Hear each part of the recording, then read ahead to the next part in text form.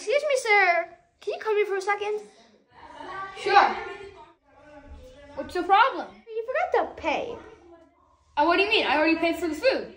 Not the food, the tissues, you idiot. The tissues? How much? Five cents. Dude, that's a lot for like five tissues. Okay, here, five cents. Each.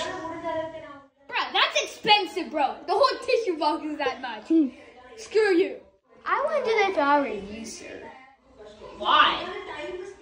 Sir, how about you step an inch with your right foot forward? But I'm left foot. Okay. Such an amateur.